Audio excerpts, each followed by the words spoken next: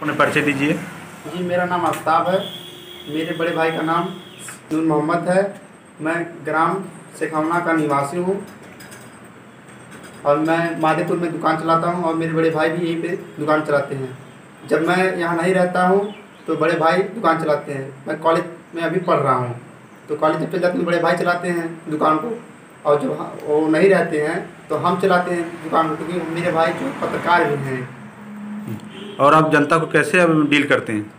मैं ग्राहकों को बहुत ही सही ढंग से डील करता हूँ क्योंकि जो ग्राहक होते हैं भगवान के रूप होते हैं। इसलिए उनसे प्रेम पूर्वक बोलता हूँ और उनके भा, भाव को समझता हूँ तब उनके जो बोलते हैं उसी के साथ मैं काम करता हूँ। तो जो जनता जो ग्राहक हमसे खुश रहते हैं। जनता आप दुकान को कितने बजे तक खोल देते हैं? सुबह मैं सुबह छः बजे से लेकर रात दस बजे तक खुला रहता हूँ दुकान और मेरे भाई भी रहते हैं दस बजे तक।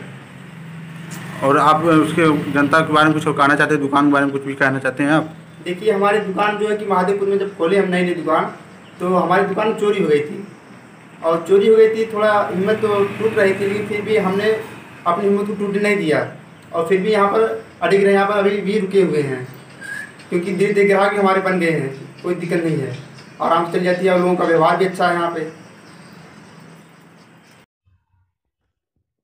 प्रकार की ऑनलाइन की जाती है। यहाँ पर आय जात और निवास। और जितने भी फार्म ऑनलाइन होते हैं वो सभी प्रकार के यहाँ फार्म ऑनलाइन किए जाते हैं। जैसे कि बीटीसी हुआ या बी हुआ और जितने भी फार्म हैं सभी प्रकार के यहाँ पर फार्म ऑनलाइन किए जाते हैं। वयम जन सेवा केंद्र की तरफ़ से वयम के प्रेरणा स्वरूप रूप में चुना गया है आप इसके बारे में क्या कहना चाहते हैं? मुझे वयम जन सेवा प्रेरणा स्वरूप से जो चुना गया है टीम द्वारा उससे हमें बहुत ही खुशी हुई है कि हमें इस लायक समझ करके हमें चुना गया है।